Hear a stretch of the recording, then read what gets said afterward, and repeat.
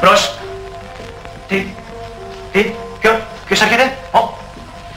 Αμάν. Τι, Ο πατέρας μου.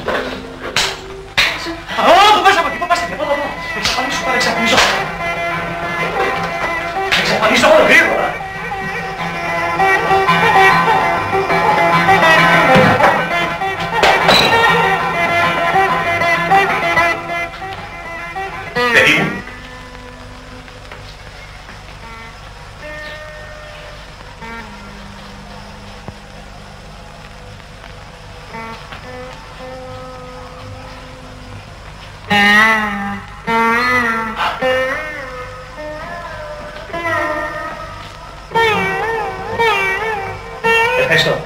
Σήκωσε και λίγο το κεφάλι σου, βρε παιδάκι μου, θα αποβλακωθείς. Ποιος είστε κύριε; Έλα Χριστέ και Παναγιά. Τι έπαθε γιος μου; Βρε, ο πατέρας σου είμαι. Πατέρα. Αγαπημένη μου πατέρα. Αγαπημένο μου παιδί, πώς μου αποβλακώθηκες έτσι; Τι έκανα δε.